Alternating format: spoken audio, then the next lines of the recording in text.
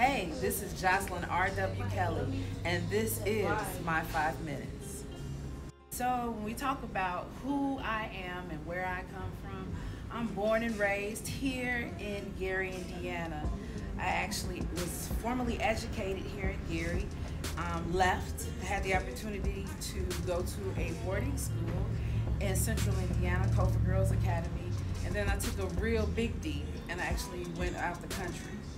But I am proud to say that I am a graduate of Lew Wallace High School and went on to further my education and begin my life in Atlanta, Georgia, and I'm a Spelman College graduate as well. Um, done a lot of things, seen a lot of things, been exposed, but where, where and what's most important to me is here in Gary, Indiana. Um, all of my life experiences have brought me to where I am and have made me the woman that I am today things don't just happen, they happen justly. So coming into my own or becoming grown, on July 14, 1995, four weeks before the start of my senior year in college, I was blessed to become a mother. In that moment, my life changed. The reason why, the reason how, the reason, all of my reasons for doing what I do absolutely changed. And I became the mother of a prince did not truly know being in love, what it encompassed, until that little boy came into my world. And he is, in fact, my world. So life continues to happen, and we grow up together, and we experience lows, highs, and the in-betweens. And he grows up, and he becomes a phenomenal individual. He changed my life yet again on December 4th, 2015. I tell you, things don't just happen, they happen justly. On December 4th, 2015, my son made a leap of faith, which forced me into living a life in a different manner, a more purposeful manner, a more passionate manner. In that moment on December 4th, 2015, I learned what love is, I learned what faith was, and I learned what living life to its fullest meant. Live to love and love to live. And that is what and who I am and how I breathe and deal with every day. Another pivotal date in my life was June 26, 2015 when I was given the opportunity to leave my first job. That's right, they fired me. And I cried for all of 15 minutes. But I thank God for that because with that, I have come into my own and I've learned something more about myself that I am resilient and I definitely am the comeback kid. So with that, gave me the perfect opportunity to pursue my passion. And it's not being a restaurateur, it's not being a cook or a chef, but it's being an motivator, it's being someone who inspires, someone who encourages. And that's my gift that God has anointed on my life and has given me to give to the world. And how do I do that? I do it through Jay's Breakfast Club here in Gary.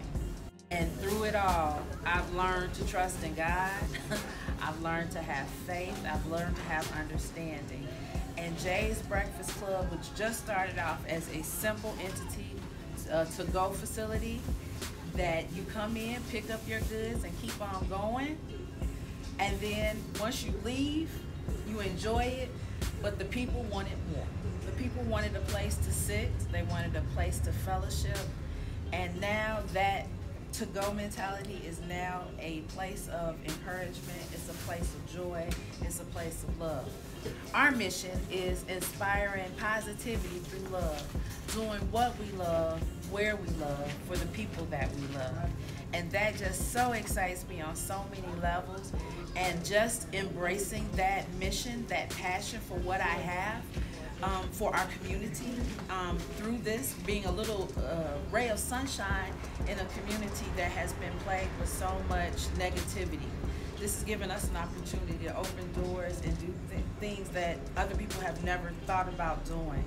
Our, our little bitty restaurant that was supposed to be a takeout facility is now an incubator for small businesses. Every Saturday, we invite small businesses into our environment where we don't charge them, but we ask them only to invite their family and friends who may not know about us to invite them to come eat with us, and then our customers who don't know about them to share with them. So that's what we call cross marketing. If I win and you're winning, we're all winning. Our mission has grown even greater. So now we're embarking upon obtaining our own facility. That's right, we're doing something that hasn't been done in Gary in a very long time. As a private company, we're embarking upon something that in my lifetime uh, it's rarely been done. Um, but we're taking a big leap of faith and we're making a major investment in our community by obtaining land and building from the ground up. Again, to inspire and to encourage folks far and wide from our community and outside of our community that it's okay to dare to dream, but more most importantly, take the leap and make it happen. Hey, how you guys doing? My name is Keon Viparet, and one of the places that I love to frequent the most because of the atmosphere and the ambiance is Jay's Breakfast Club. It's like no other place that I've ever been and that I visit on a regular basis. The owner, CEO, Joslyn Washington Kelly, is very phenomenal. I'm grateful and thankful that she brought an idea of home cooked food right here to Gary, Indiana. Everyone loves a great Sunday dinner, and this is one of the places that you can get that Sunday dinner along with down home Southern breakfast. So if you want to come, have a great time, great conversation, and just be around good people, I challenge you to visit Jay's Breakfast Club. Hi, I'm Ferris Evans Jr., pastor of the Clark Road Missionary Baptist Church, right here in the city of Gary, Indiana. But let me tell you something about Gary, Indiana. It is the host of one of the greatest restaurants independent restaurants, and that is Jay's Breakfast Club. Let me tell you, I'm a fan and a customer of Jay's Breakfast Club. Not just because the food is just scrumptious, just delicious, but Jay's Breakfast Club, their service is awesome. And I go to restaurants not just because the food is great, but the service is great.